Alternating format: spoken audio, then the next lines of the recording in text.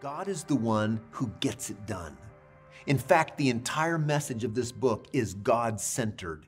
He is the primary mover of events. The plagues in chapters 1 and 2. The call to lament in chapter 2, verse 12, along with chapter 1, verses 5, 8, 11, and 13. The instructions to return in chapter 2, verses 12 and 13. The restoration in chapter 2, verses 18 through 27, and chapter 3, verses 1 and 18 to 21. The gifts of the Spirit, chapter 2, verses 28 and 29, and verse 32. The assurance of his final victory in chapter 3, verses 1 through 17 and verse 21.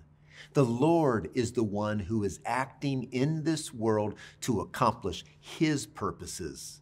He is the one who is in control of physical and spiritual realities. He sends forth, as we see in chapter 2, verse 11, the Lord thunders at the head of his army, and he withdraws, as seen in chapter 2, verse 20. I will drive the northern army far from you.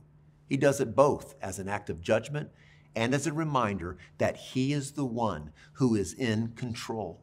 Nothing is beyond his reach.